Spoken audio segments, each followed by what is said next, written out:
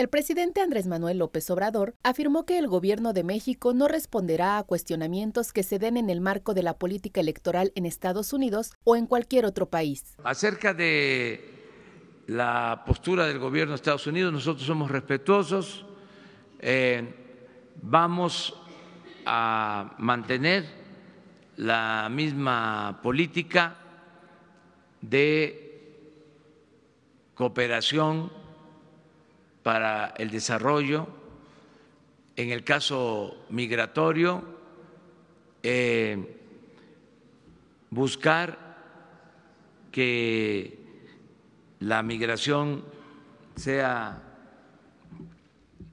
optativa, que no sea obligatoria, que sea opcional, que no sea forzada por las circunstancias. Asimismo, el titular del Ejecutivo ofreció una opinión como ciudadano y politólogo de los periodos de gobierno. De ninguna manera vamos nosotros a eh, entrometernos en la política eh, interna de Estados Unidos.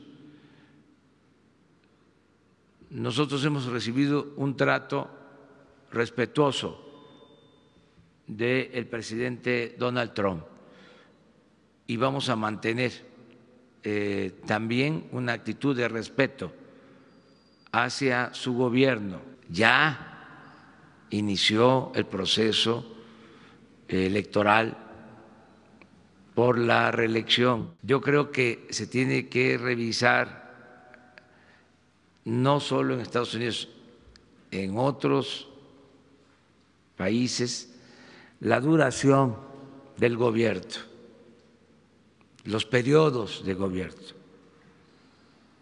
Política es tiempo. Yo considero que un periodo de cuatro años, aunque se permita una reelección, no es lo mejor, porque se gana en el primer periodo y como viene pronto la reelección, no hay estabilidad suficiente, no deja de mezclarse la política, los asuntos públicos, la administración de los asuntos públicos con lo electoral y nosotros somos partidarios del sufragio efectivo y de la no reelección. En conferencia de prensa este martes 5 de febrero, el primer mandatario informó que en los próximos días presentará medidas extraordinarias de apoyo a petróleos mexicanos. Por lo mientras, continuará la vigilancia. Ya vamos saliendo del plan de combate al robo de combustible, porque ya se está normalizando el abasto ha bajado considerablemente el robo. Eh, esto nos tenía ocupado, eh, ya eh, están establecidas las bases, no vamos a dejar de mantener la vigilancia en los ductos. Hacienda le ha quitado históricamente demasiados derechos e impuestos a Pemex. Es de las empresas también que más pagan impuestos en el mundo. Entonces vamos a dejarles recursos suficientes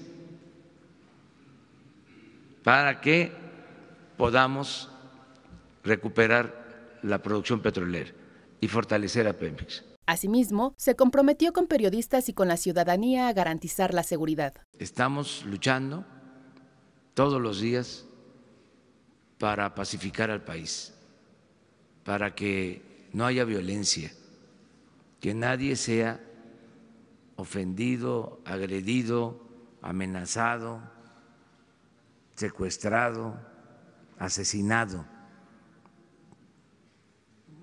es eh, nuestra eh, ocupación, no solo es nuestra preocupación. Eh, garantizarles a ustedes y a todos los ciudadanos de que ya el Estado no va a formar parte de la delincuencia. Hay una línea divisoria, hay una frontera. Estoy pendiente para que ninguna corporación del Estado eh, se dedique a delinquir, eh, a separar completamente lo que es el Estado de la delincuencia. Respecto al tema de la Comisión Federal de Electricidad, López Obrador enfatizó que la propuesta estará a cargo de su director, Manuel Bartlett. Acerca de los em, programas de la Comisión Federal de Electricidad, quedamos de que va a hacerles una propuesta el, el licenciado Manuel Bartlett sobre el plan que se está llevando a cabo, que es interesante ese plan para recuperar eh, a la Comisión Federal de Electricidad, que está muy afectada, la dejaron maltrecha, igual que Pemex, porque apostaron a destruir a estas dos empresas, eh, las trataron muy mal. Pemex, lo dije la vez pasada y lo repito, es la empresa más saqueada en el mundo eh, tanto Pemex como la Comisión Federal de Electricidad van a ser fortalecidas, o sea, todo el gobierno que represento está eh, decidido a apoyar a Pemex y a la Comisión Federal de Electricidad. A Pemex no le van a faltar recursos, no va a haber eh, disminución en inversión. Va a tener Pemex muchos recursos. Voy a anunciar, les adelanto,